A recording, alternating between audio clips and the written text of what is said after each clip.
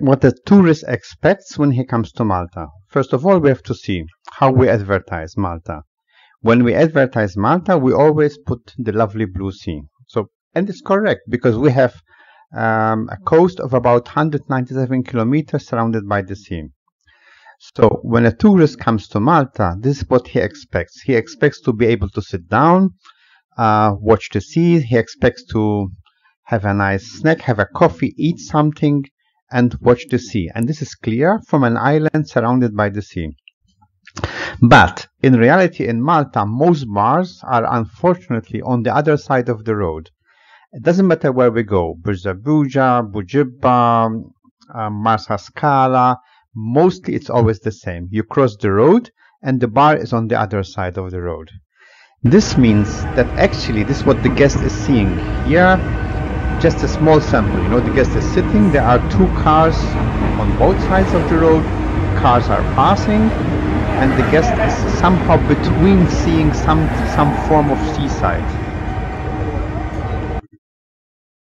And believe us, we filmed this on a quiet afternoon. So imagine if we would film on a nice evening or a Sunday. You would see nothing. The, the, the tours and even us Maltese, we are actually sitting uh, inhaling diesel and smoke from the passing cars. Um, there are one or two catering establishments which have what one expects. Here we bring an example of one bar in Vituzuri and the table, um, how it was set up for us, where one is actually looking at the sea. This is, to be honest, what I and a tourist who comes from other countries expects to see. Uh, but as we said, the same story goes everywhere we go. You can take Marsa Scala all the way up to St. Thomas Bay. Uh, there's an exception. There's the Surfside in Sliema. There's one or two uh, kiosks in Buġibba and unless we're missing something there are hardly any more. I think i think you will not find more than 10 15 places except the big hotels of course which have the the pool bars but we're talking about normal places where one can go and sit down.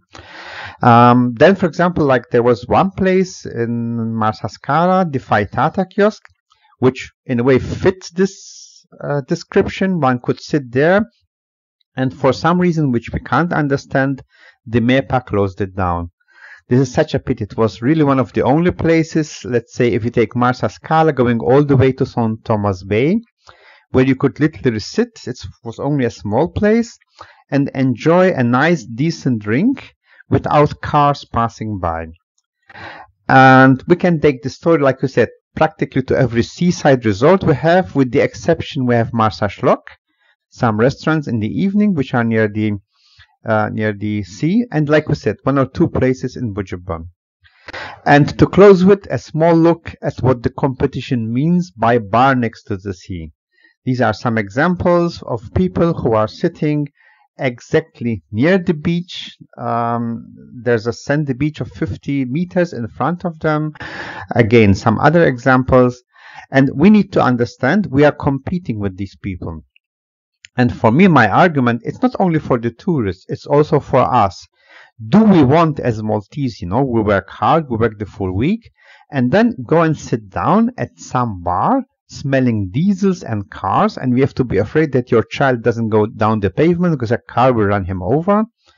We need to find a compromise between respecting the law and we need to find a compromise to see how to fit in these places. At the end of the day, it's for us. Uh, these places are made for us. So we need to think about it. Thank you. With compliments, Victor Scicluna. Hope you enjoyed it. Bye bye.